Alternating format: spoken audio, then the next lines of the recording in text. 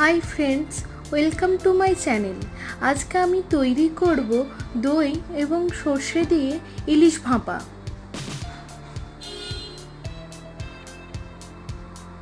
এর জন্য আমি ইলিশেটাকে ভালোভাবে কেটে এরকম ডিম পিসগুলোকে ধুয়ে নিয়েছি। এরপর এর মধ্যে আমি সামান্য পরিমাণ হলুদ গুঁড়ো মাখিয়ে নেব।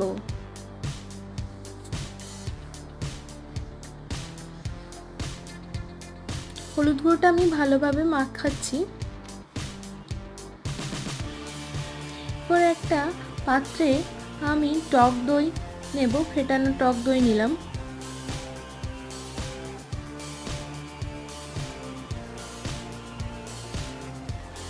এর মধ্যে আমি অ্যাড করছি সর্ষে বাটা। এটা কালো এবং সামান্য পরিমাণ সাদা সর্ষে মিক্সড করে বাটা।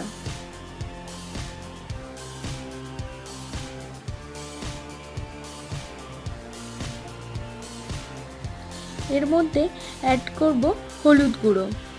হলুদ গুঁড়ো দিয়ে দিলাম। পরিমাণ মতো লবণ আমি দিলাম।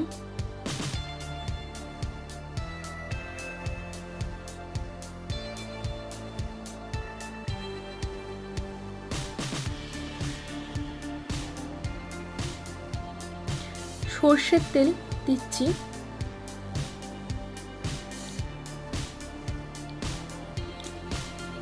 এবার এটাকে ভালোভাবে মিক্সড করে নিচ্ছি।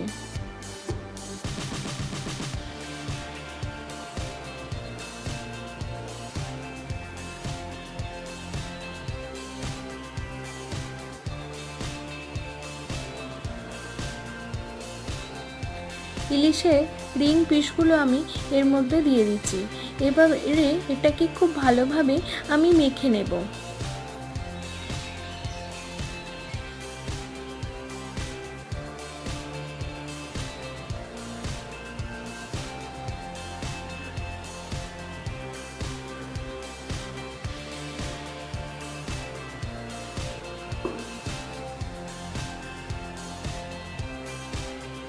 কাঁচা চেরা লঙ্কাগুলো আমি এর মধ্যে দিয়ে দিচ্ছি। এবার এটাকে আরেকবার মিক্সড করে নেব।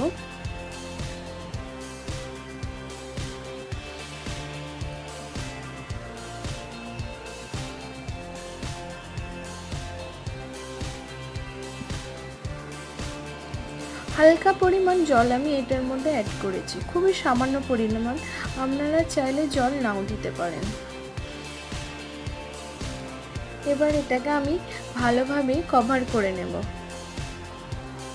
খুব টাইট ঢাকনা হতে হবে। এরপরে একটা কড়াইয়ে আমি গরম জল বসিয়েছি। ওই কৌটোটা আমি এর মধ্যে বসিয়ে দিলাম। এটা ঢাকনা দিয়ে ঢেকে রেখে দেব। এটা পনেরো থেকে কুড়ি মিনিট টাইম লাগবে হতে। আমার এটা হয়ে এসছে। এবার এটা একটু ঠান্ডা হলে আমি খুলে সার্ভ করব। আপনাদেরকে একবার খুলে দেখাচ্ছি। দেখুন, আমার ইলিশ ভাপাটা এরকম তৈরি হয়েছে। এবার এটাকে আমি পরিবেশন করব। আমার ভিডিওটি যদি আপনাদের ভালো লেগে থাকে, অবশ্যই আমার চ্যানেলটি সাবস্ক্রাইব করবেন এবং লাইক, শেয়ার ও কমেন্ট করে জানাবেন।